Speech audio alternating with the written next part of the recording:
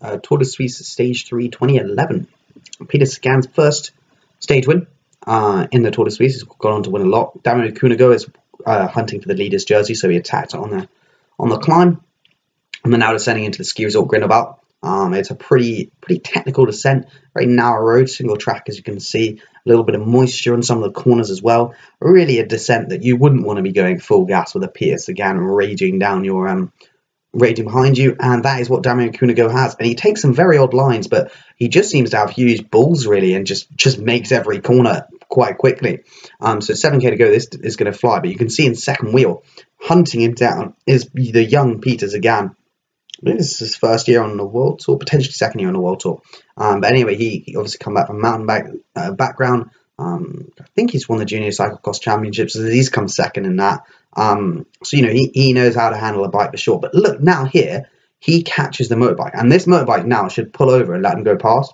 Like the motorbike, uh, in my opinion, here is completely out of order because Sagan, look how much distance he's he's gaining on the motorbike. Like the motorbike surely should just pull over to the grass here, or on this corner, what he should do is he should just pull really wide now to let Sagan go on the inside. Instead, this motorbike just keeps following Damian Cunego, and we're about to see some some chaos, really. So this is what I was talking about, but moisture. Like Damian Cunego just lobs the bike over and hopes for the best, to be honest, because he knows that Sagan's going to catch him, then it's going to be a tough one out. So what you'll see in, the, in a minute is round this corner again, motorbike should pull off to the side, let Sagan through. Instead, he doesn't.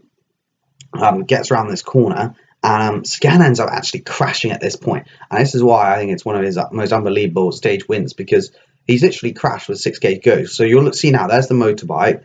There's Cunego, and then you're like, well, wait, where's Sagan? Sagan's gone. When you watch this live, you're like, wait, well, what's happened to Sagan? Because surely, surely hasn't just like crashed. Like, why would he just crash around a corner? But we're going to see in a minute, we're going to see a Sagan just on the side of the road. So now there's group three, 17 seconds. But Cunego is just absolutely mental. Like, he's a bit of moisture there, just goes full around every corner. Um, and yeah, as you can see, it's a technical descent. Um, he just seems to sort of be a bit gingerly. Like, he's not properly, like, he's leaning the bike over, but he's not probably getting bold. Like, if you watch some of the descenders, like Nibali, like, he probably gets his body as low as possible.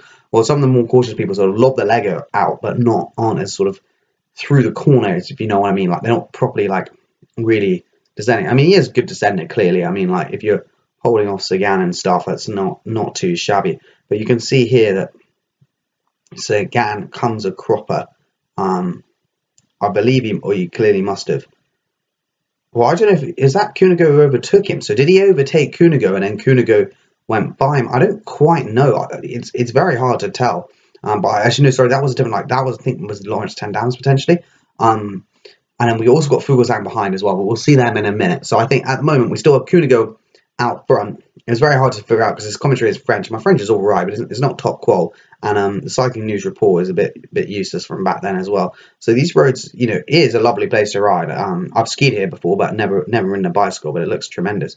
So we've got Cunego almost decking it on one of the corners um, French comes like, oh la la la, and it, it, was exactly the sentiments that I echoed because it was a very, very uh, worrying moment. But Cunego was a won a Giro. He's a good lad. I mean, I don't know, he could have maybe achieved more, but in my opinion, uh, if he went to a different team, Lampre-Merida obviously were pretty good at turning out results. But I feel like he then went to pro Conti team in Italy. It was Nippo-Vini Fantini or whatever, one of those. they change names every season, but he went to that team and didn't really achieve too much. So you can see getting back to Sagan is coming back now, so he's crashed. I think he must have overtaken the other person. He's now apparently 21 seconds behind the leader, um, but I think he, he could be a, a, a, fair bit closer. And then behind that, you've got a big gap for Laurens ten Dams and Jakob Fuglsang. Um, so here is Laurens ten Dams riding for Rabobank, and um, we're about to see Jakob Fuglsang. So another ex-mountain biker, pretty successful, I believe. I think he might have got. I heard he got a silver in the 2012 Olympics, but I think that could have been 2008, but or maybe that was JC Pro. But anyway, all I know is he is a good mountain biker, and the lad came from mountain biking and can descend. Um, so we do love to see it. Um, but this is what road bikes used to look like. Not really any aero benefits, just a rim brake bike, skinny climbers going full up climbs, which is, to be fair, is all what we ever want to see. That car needs to get out of there. Sorry, doing a bit of Carlton Kirby there, shouting at motorbikes, because that is his favourite hobby. But the technical features in the road. But 3K to go. Um, Cunego is absolutely flying down the descent. But there he is. Peter Sagan's back. So, you know, he obviously, group two is not him. Uh, Sagan managed to crash. And now he's about to get back on. So at this moment, Cunego probably has in his ear, Sagan's coming back on, Sagan's coming back on. And then you've got to think, what what would I do? If I was him, I think you have to lead out. I think if you let Sagan go on the front, he's just going to drop you through the corners because he's clearly a better descender. Um, you don't want to let him come through uh, because he'll just he'll force energy out of you. So you almost want to block him from coming through by taking you know sort of going on the inside and then pulling out and really making sure that you lead it down. Because to be fair, he's also going for GC as well. So you know that's the that's the main main importance of thing. I think he finishes third overall or something. Uh, Levi Leipheimer, I believe, won. Uh, but you know at the end of the stage, he did in, indeed win. Uh, the yellow jersey in Swiss, isn't it? Yeah, so yeah, he got the yellow jersey.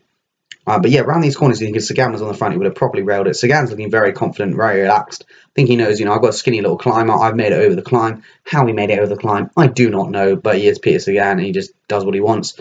Um, nice little chalets here. Um, it's like technical to the finale. Um, to be honest, the whole the whole thing, and there's there's a big gap back. But I think when the helicopter pans back, there you can see Fuglsang and Fuglsang obviously in the left, um, Radio Shack tr track, I think it was back then, and uh, obviously ten Dams uh, Rabobank, uh, not the most confident descending, descending by um, 10 down. Fuglsang railing, but like you can see here, like he's not messing around Cunego. He doesn't know how to descend. I think it's just Sagan's, you know, a couple percentage points better, which out of every corner, especially on a very technical and sort of sketchy descent, is um interesting. Like here, he sort of almost gaps him out of the corner um a little bit. Uh, I guess just different line choice. Uh, but coming into 1.7k to go, I mean, you all you got to know is that the finale is very technical because we're in Swiss and they like to have corners in the last couple hundred meters. That obvious, you just have to tie up your shoelaces because that really will definitely win you the sprint. So everyone's tying up the little bow dials, whatever dials they have, and getting ready for the old sprint.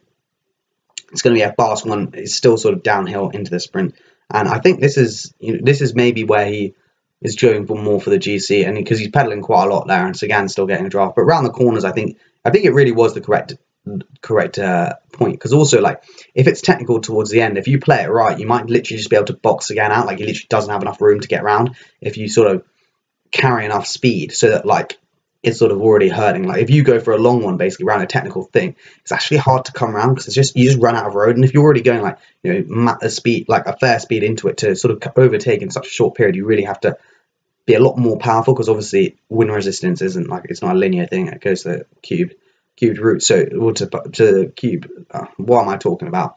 You know what I mean. Two to the three is what I'm trying to say. If you double the speed, you get um, eight times the resistance. So yeah, that's the um. Because you think that's what he should do. He is doing that. Um, you know, he doesn't he doesn't look as lean as some of the GC guys now, but he's still pretty lean. Like legs, I feel like calves calf uh, size of people's calves has decreased significantly. So Sagan's looking pretty lean. 300 meters to go, leading him out. I mean, this is where you think it's always going to be a tough one, isn't it, with Peter Sagan on his wheel. Sagan with a classic helmet, nice old glasses, just comes him on the inside. This is just, I think that's too easy. Shouldn't allow him on the inside. And then, you see what I mean? Like, it's quite technical. There's no way you're going to be able to come around at the end. So I think if, if Cunego had played that slightly better, I reckon it could add him.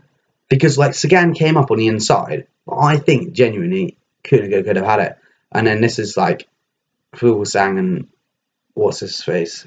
um, ten Dams. And there you go, the inside line there. So the DS should have sold him, get on the inside there and you're going to win the sprint because then you've got the best line coming into the finale.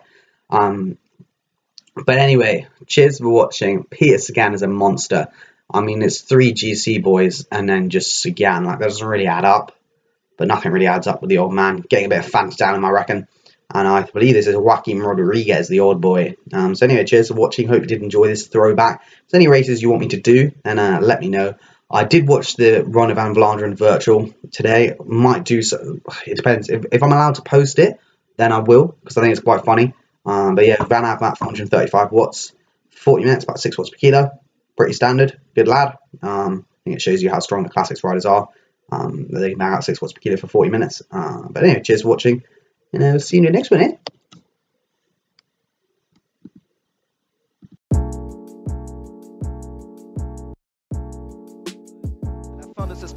S'est glissé dans un trou de souris. Il n'a pas hésité, hein, il n'a pas eu peur. C'est vrai que quel démarrage spectaculaire. c'est le tarif, en mettant 4 secondes, 30 km, ça fait 2 minutes. Donc là, là c'est limite. Donc Damiano Cunego ne, ne peut pas s'endormir euh, sur les acquis. Il doit encore attaquer ces prochains jours dans les étapes de montagne, tenter de creuser l'écart sur, sur, les spécialistes du contre-la-montre s'il veut avoir une chance de, de s'imposer sur ce Tour de Suisse.